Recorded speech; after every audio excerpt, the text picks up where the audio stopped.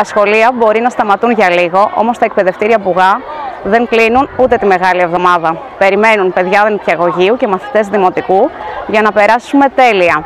Από Μεγάλη Δευτέρα λοιπόν μέχρι και Μεγάλη Πέμπτη και επαναλειτουργούμε την Τρίτη του Πάσχα 2 και 3 Μαΐου.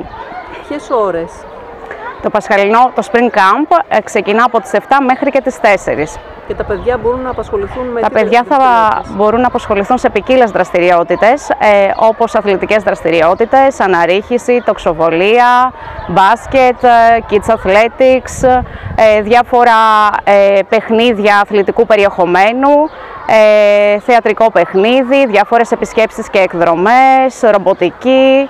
Ε, γενικά είναι ένα ενδιαφέρον πρόγραμμα ε, που θέλουμε λίγο αυτό να αποτελέσει μια ανάπαυλα των ε, μαθητών από το σχολικό πρόγραμμα. Και ανοιχτό σε όλα τα παιδιά. από όλα τα Βεβαίως, σχολεία. είναι ανοιχτό σε όλους τους μαθητές από όλα τα σχολεία της πόλης μας.